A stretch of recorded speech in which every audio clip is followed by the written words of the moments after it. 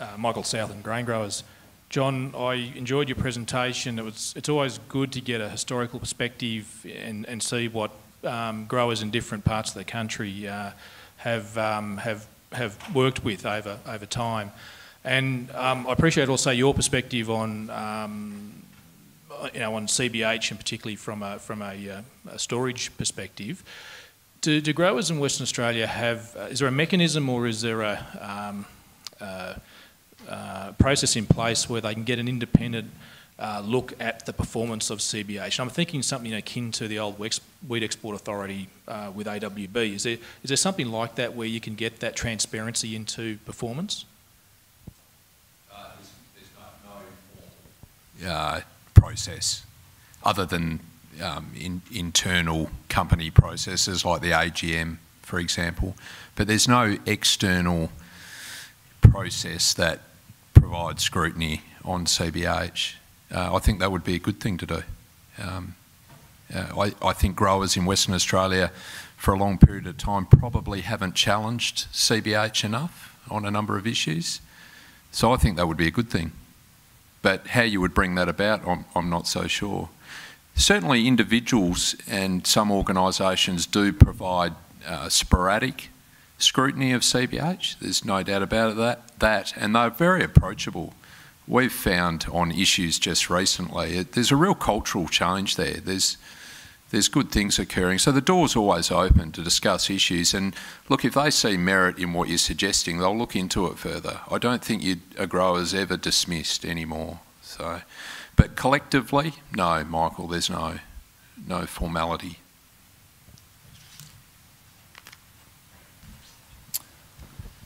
We've been, uh, I guess, as a panel, and uh, I welcome anybody in this one.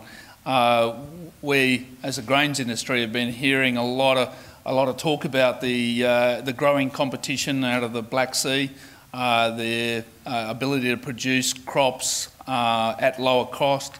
the the scale of operations is going there, the amount of capital going in there is putting pressure on from a competition point of view and uh, on our on our bulk commodities. And we've heard, I think uh, we heard uh, from Chris that that you're seeing growth or opportunities in uh, small parcels where people, I assume, are asking for a different or a unique uh, level of uh, functionality. We've heard. from Tim about where customers are wanting different things, we're wanting traceability. I guess to the panel, and, and, and we heard from John saying that he was envious of uh, the East Coast, uh, I, I, assume domestic market pool and the lack of opportunities in poten- potential that you have in Western Australia. So, what is, it, what is a group? What do, what do we believe are the true opp- opportunities for differentiating, or do we have to just fight straight on with the Black Sea on a cost, cost basis across the industry? Anyone want to have a go? Or do you want to talk about sort of comparative advantage in, in on, on farm and then go through the work our way through the value chain? Eh? Yeah. Um, I'll just make a comment. Um, I think that um, uh, it all can't go in containers, um, and there's only a certain amount of it that's going to go in containers. That may, may be because of financial reasons, as much about um, as the grades. I mean, somebody might only want a parcel of 2,000 tonnes. They don't want a whole sort of shipload. They can't afford it. Um, I, I, think uh, we, we're not having to meet the Black Sea at the same prices. We've still got a, a premium, but generally, um, I think it's around about twenty to thirty dollars, and then they can actually use things in the in the milling to actually compensate it. So there is a level of what we've got to compete with. So I, I, I think it's fairly serious in relation to trying to compete with it. If, if I can just add, I, it is unfortunate that West Australian industry doesn't have that domestic pool. So I think we are locked into uh, supporting CBH on their cost saving measures. And just today they've sent an email to growers and they're going to move their office um, back into the, the Perth City area as a cost saving measure. So they are certainly aware of the Black Sea region and how it's making the West Australian export focused grower uncompetitive. And they are trying to do it. Whether they can do that without competition, whether that external threat is enough. I hope it is because I agree with Chris, we are under pressure.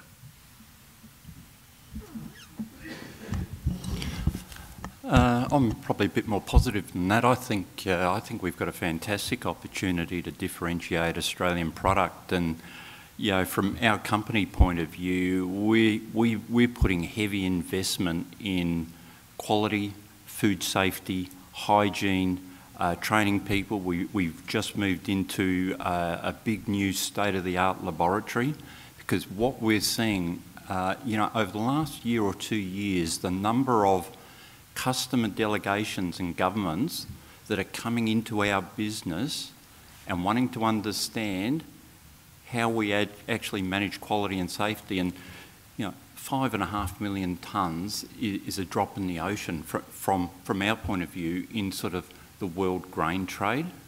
It's not, you know, it's not a big amount. And our opportunity is to actually differentiate our product from everybody else and that's the way we're looking to compete. And quite rightly, cost efficiency is really important, but we've also got to look for where the value is as well.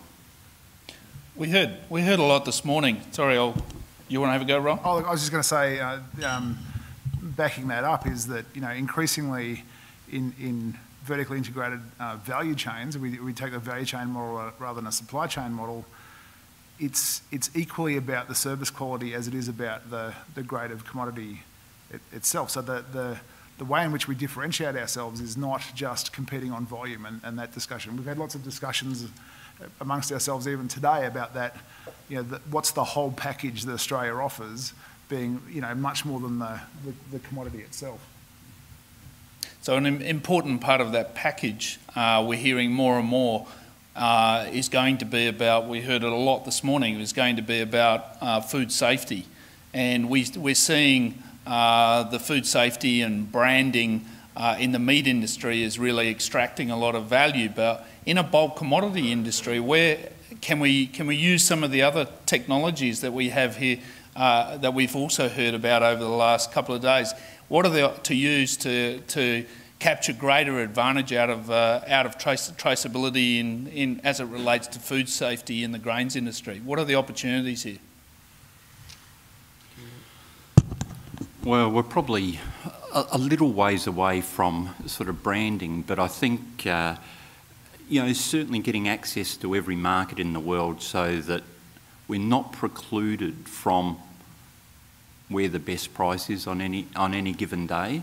Um, but I think we are in a unique position where people naturally, uh, end users actually naturally see and trust uh, Australian commodity. And you know, if you look at where the uh, that big consumption growth is, uh, it's in China. Wealth is increasing there.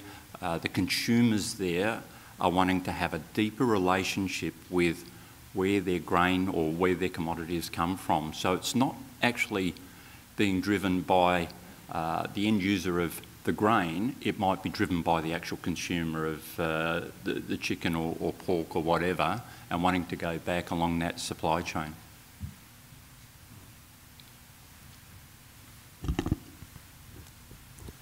Is that you, Neil? Are you pointing at somebody over there? Down here, please.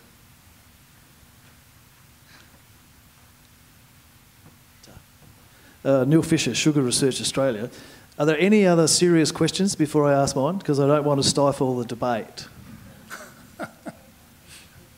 no other serious questions because this is a bit out of left field. Okay. Um, our family's been growing grain on the Victorian South Australia border since 1889. I repeat that, 1889. I was home at Christmas time and I drove past the Viterra silos and I know you have to keep costs down, but this is a question to Tim. Any chance of getting a coat of paint on the Victoria on our silo so they look like the ones in your promotional video? I think I'm going to have to defer that one to Jane, our communications manager. She's responsible for that. Does she paint them, does she? Yeah. uh, look, look, it, is a, it, it is a good question, the maintenance of assets. And a lot of those assets were, the, you know, the concrete assets, you, you saw the video and you saw a bit of a strip of, you know, we've got sheds, we've got uh, concrete, we've got steel, we've got lots of bunkers. And there's lots of value in having all those combinations, but no one's going to build a concrete silo again. And there is a balance between maintaining them and getting the value of those, the segregation uh, capacity, the elevation capacity, to a point where they actually cost too much to maintain. They're not cost effective anymore. So you drop them out, and you know we've seen right over Australia, you know a lot of small sites have actually have actually closed. Apologies to Tim, that was a cheap shot, but I just took it anyway. Bit of, bit of self-interest there, Neil. Um, Can I just make a comment uh, on that? Um, uh, Our local Chamber of Commerce are trying to get a grant so they can actually paint a mural on ours. So uh, I I hope that they're sort of successful. And and I think they've done some uh, ones in in South Australia, and they look fantastic. We, uh, we've heard in this session a lot of, a lot of talk about deregulation. Uh, we've also, we're aware that the port access um, terms and conditions are, are up for review. Rosemary, we heard you say you thought, it, you thought it could be a lot better. Tim, you're saying you were talking about unlevel playing field, and I know you're talking about different legislation and regulation with it state-based. But what's the opportunity uh, here for port access going forward? Or is that too contentious for anyone to have a go at? You're asking me? Oh, any of you? Um, Yeah. look, look, from our point of view, I think that it's about getting the level of regulation right, but then also making sure that it's equal uh, regulation. And what we've seen uh, from a South Australian point of view is that really South Australia has been discriminated against in that uh, we're respondent to the, uh, the full requirements of the code, um, the six ports in South Australia, um, but we are competing with you know, other parts of Australia and things like long-term agreements. It took us well over a year to actually change our capacity allocation system to introduce long-term agreements. You know, I talk about the flexibility, I talk about what exporters are looking from us and what customers are looking from us. Uh, the ability to actually be agile and respond is really important, um, especially when other origins or other regions can, can actually sort of do that. Thanks, Steve. I'll just make a general comment about regulation in general, and, and that is about um, industry-specific regulation versus you know, broad-based competition policy style regulation. And it's always a concern when we feel the need to have industry-specific settings that require governments to know things that are really in the commercial domain. And, and whenever we do that, whenever we, we, we try and administer some sort of regulation like that, uh, it, it, becomes, it becomes fraught because the administrative system can't keep up with the commercial agility.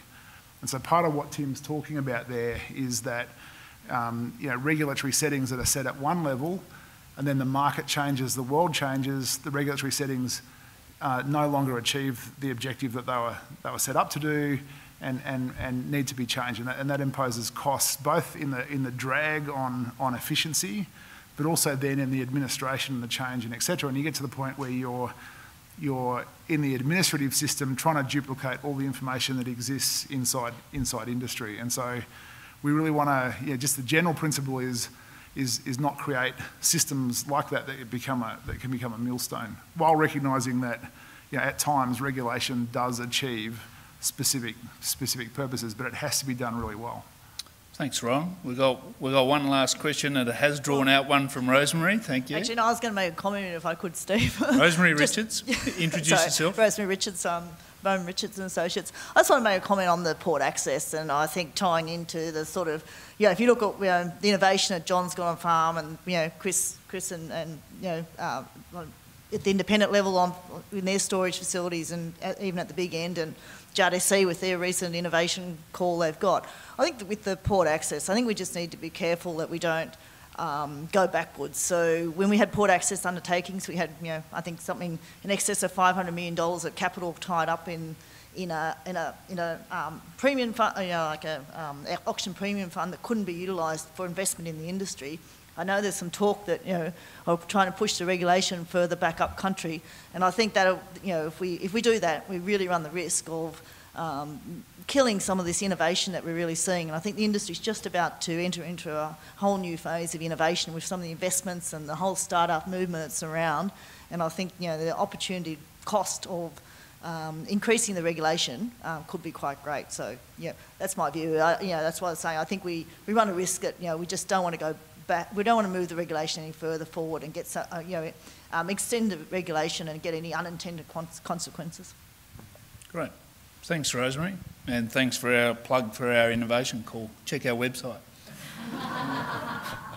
right, uh, unless there's a burning question, I'll uh, thank everyone for their attention. Thank you for the panel for really enlightening uh, uh, uh, presentations and discussions. So with that, I understand, Rowan, that uh, that's the end of the proceedings. I do believe there is afternoon tea served, so please help yourself to that and safe travel for those that are for those that are travel, travelling, and we'll see you about in, in our wonderful agricultural industry over the next 12 months. Okay.